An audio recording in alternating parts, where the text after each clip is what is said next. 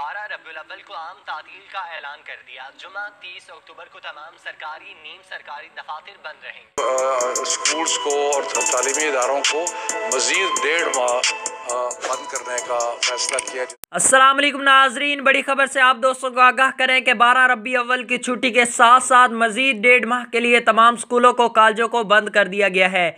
क्योंकि नाजरीन, corona virus की तादाद में तेज़ी से इजाफा होता जा रहा है। पाकिस्तान के अंदर कोरोना वायरस की दूसरी लहर आ चुकी है। तालब इलमों में भी कोरोना वायरस की तस्दीक होने लग गई है।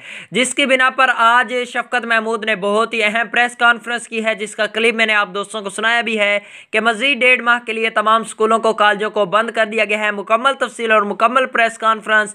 आपको आज की इस वीडियो में आप दोस्तों को सुनाऊँगा, उससे कबल आपसे छोटी सी गुजारिश है कि अगर आपने अभी तक चैनल को सब्सक्राइब नहीं किया तो प्लीज़ मेरी आपसे रिक्वेस्ट है कि वीडियो पर बहुत ज़्यादा मेहनत होती है। जिन भाइयों ने सब्सक्राइब नहीं किया, वो जल्दी से सब्सक्राइब कर लें। और इसके बाद अगर आप एक हज़ार का फ्री बैलेंस हासिल करना चाहते हैं तो डिस्क्रिप्शन में आपको एक नई एप्लीकेशन का लिंक मिल जाएगा। आप उस एप्लीकेशन को डाउनलोड करके, इंस्टॉल करके आप एक हज़ार तक का फ्री बैलेंस हासिल कर सकते हैं, वो भी चौबीस घंटे के अंदर। जी हाँ नाजरीन, आज शफकत महमूद ने तमाम तालीमी इदारों को बंद करने के हवाले से बहुत ही अहम प्रेस कॉन्फ्रेंस की है, जिसमें मजीद डेढ़ माह के लिए तमाम स्कूलों को तालीमी इदारों को बंद करने का फैसला किया है। जी हाँ नाजरीन, तमाम स्कूलों को, कॉलेजों को तीस अक्टूबर के बाद बंद कर दिया जाएगा। उसके बाद कोई स्कूल, कोई कॉलेज ओपन नहीं होगा। मजीद डेढ़ माह कोरोना की वजह से स्कूलों को बंद किया गया है।